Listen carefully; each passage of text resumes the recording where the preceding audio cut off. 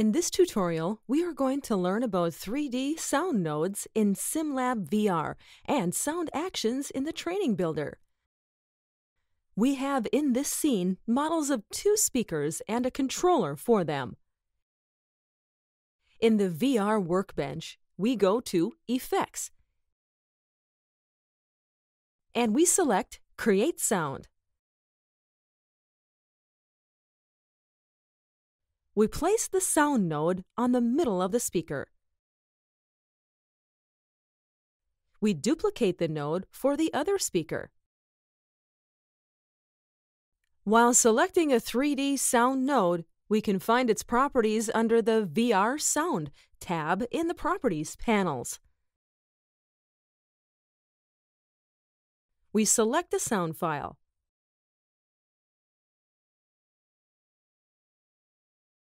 We have several options for playing a sound in VR, such as looping and play on start.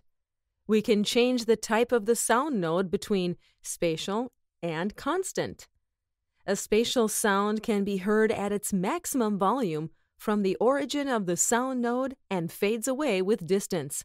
However, a constant sound plays with fixed volume in the background. The range of the spatial sound can be edited as well. 4.5 meters would be fine for this scene.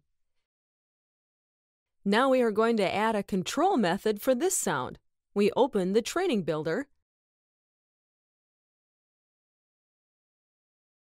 We select the Sound Action response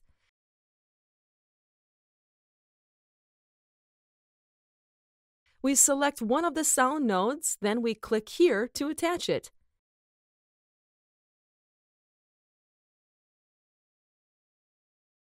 We do the same for the other speaker.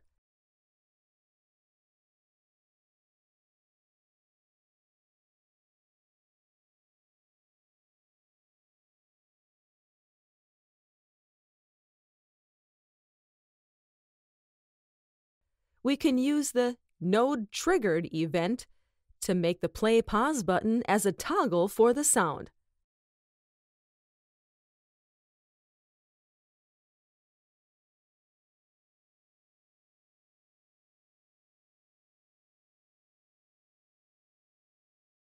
We have many types of sound actions. We can toggle, play, pause, play a specific duration, or even seek to a different time.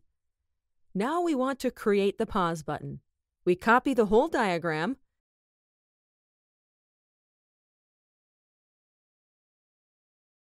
we select the stop button and attach it to the node triggered event. To make a stop behavior, we seek the audio to the time zero.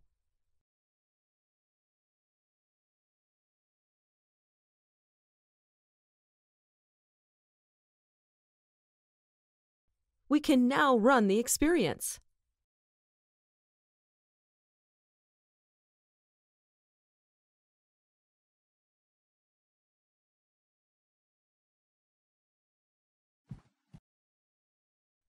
We click the play pause button to play the music. If we are using stereo speakers, we can notice that the sound amplitude and direction gets affected by moving around.